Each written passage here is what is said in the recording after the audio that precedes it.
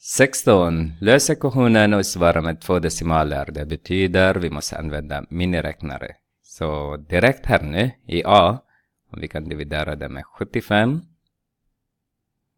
75. Så har vi x upphöjt till 2 är lika med. Om vi dividerar det med 15, om dividerar vi med 15 så hoppas jag att ni förstår att det är 4 femtedelar. Tar vi rutan ur av båda roten ur av båda så har vi x är lika med positiv negativ. Om ni ser, jag ska visa min skärm, så ser ni att 4 roten ur 4 femtedelar.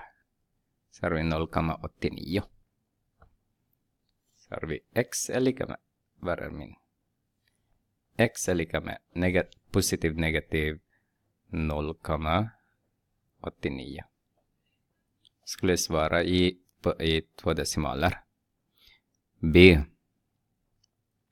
Om vi kan dividera den med 20 direkt och den också med 20 så ser vi att vi har x upphöjt till 3 är lika med 5 fjärdedelar. Tar vi tredje roten ur, tredje rutan ur, tre där. Se till att ni skriver tre där. Eller om ni vill, jag ska visa sen, x är lika med eh, min skärm. Ser ni shift? Nej.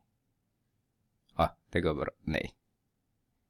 3 shift eh, fem fjärdedelar. Så har vi 1,08. 1,08.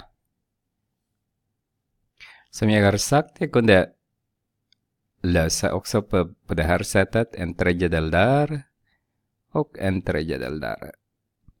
Och i en miniräknare så ser det ut så här. Jag ska visa med miniräknare också. Ser ut så här. Fem fjärdedelar upphöjt till ett, en tredjedel. Så får ni exakt samma. 1,08.